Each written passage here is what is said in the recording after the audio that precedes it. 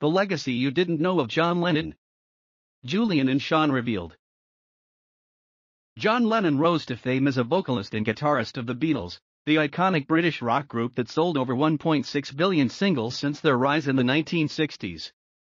The songwriter welcomed his two sons, Sean Lennon and Julian Lennon, before his death on December 8, 1980.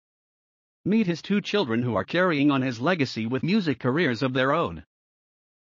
Widely regarded as the most influential rock band of all time, the Beatles soared to the top of the charts in the US and UK. with hits like Hey Jude and Strawberry Fields Forever. The group's success was due largely in part to John's songwriting skills and the leadership role that he took on over the years. At the height of his fame, John married his first wife, Cynthia Lennon, in 1962. The pair met at art school while they were both in relationships with other partners. After spending time together, they both decided to break up with their other partners and give their relationship a shot. Cynthia and John wed after she found out she was pregnant. They welcomed their son, Julian, on April 8, 1963. John and Cynthia were officially divorced on November 8, 1968, years after John met his second wife, Yoko Ono, for the first time. Cynthia died in 2015 at the age of 75 after battling cancer. John and Yoko became musical collaborators and were married on March 20, 1969. The couple took some time apart during their marriage and John began seeing May Pang with Yoko's blessing. John and Yoko reconnected and welcomed their son, Sean, on October 9, 1975. Shortly after Sean's birth, John took a step back from music to focus on raising his young son and repairing his marriage. News of John's murder at the hands of Mark David Chapman devastated the entire world in 1980. Julian was 17 at the time of the tragedy.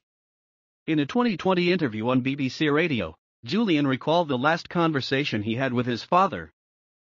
In the years since their father's death, both Julian and Sean pursued music careers of their own. As they both continue to carry on their father's legacy, Sean told NME in December 2010 that John was one of a kind.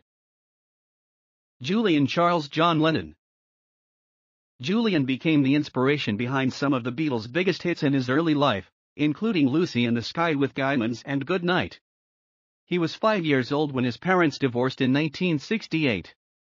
He admitted in an essay for The Guardian in 2020 that his relationship with his father became strained.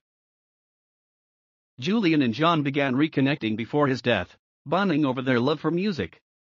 In 1984, Julian released his debut album, Valotte. The following year, the Space Singer earned a Grammy nomination for Best New Artist.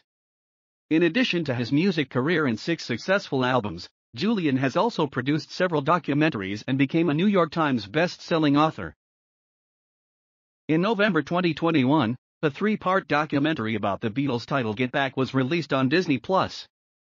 Julian attended a special screening of the film and shared nothing but kind words about his father on Instagram. Sean Taro Ono Lennon Much like his older half-brother, Sean decided from an early age that he also wanted to pursue music. He often collaborated with his mother beginning in his teen years before writing All I Ever Wanted with Lenny Kravitz in 1991. Sean released his first solo album, Into the Sun, in 1998. Two more albums followed before Sean began playing guitar and singing with multiple bands. Sean has collaborated with Miley Cyrus, Mark Ronson, and Lana Del Rey throughout his career. He also took his talents to the big screen, directing Carrie Fisher and Lindsay Lohan in the 2006 film Friendly Fire. The singer, who was just five years old when his father passed away, bears a striking resemblance to the Beatles' hitmaker with his long hair and glasses. He has always had a special connection with his father. What is your impression of John Lennon?